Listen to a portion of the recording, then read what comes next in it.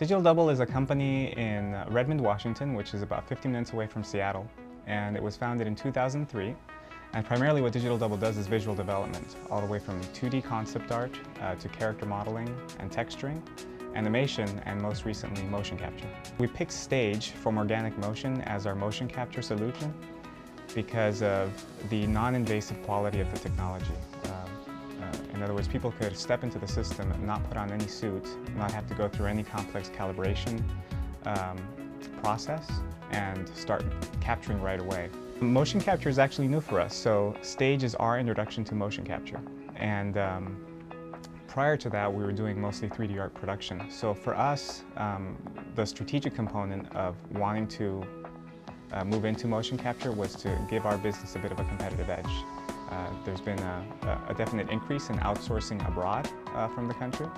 And as a consequence of, of, of, getting Stage, we're actually starting to get outsourcing from abroad to us, uh, specifically China.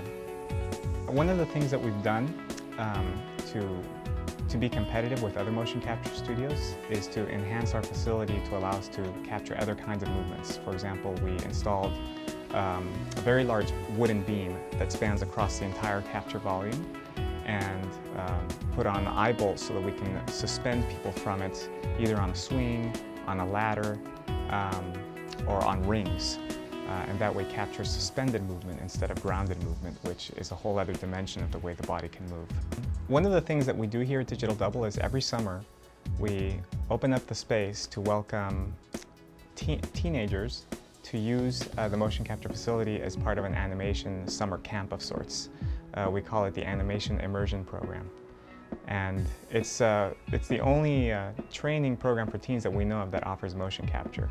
The thing that's exciting about it is that in the, the period of one week, um, these students, ranging from ages 13 to 19, can come in, design their own characters, make their own 3D characters in Maya, and texture them. And by the time they leave, they they're able to step into stage and see their characters up on screen moving just like they're moving and bring them to life. One of the things we did early this year for the Digital Arts Festival was work with uh, a local dancer, Melissa Farrar, to produce um, a performing arts piece where she danced uh, next to herself.